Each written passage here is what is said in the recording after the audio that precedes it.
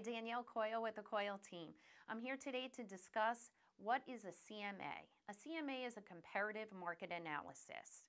So what does that mean? If you're looking to get a value for your home, values are always changing. Um, today, your what your value is may be different of what it's going to be in 30 days or 60 days from now. So what we do is try to compare similar homes within a certain distance. We'll stick within a mile of your neighborhood and we look for the same style home. If you live in a colonial, we'll look for recently sold colonials.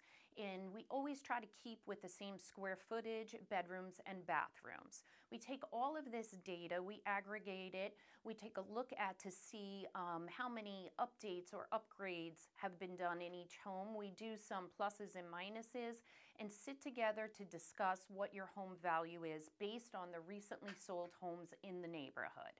If you're thinking about selling your home and or just curious of what the value of your home is, feel free to contact me anytime. I'd be happy to sit with you and discuss a CMA.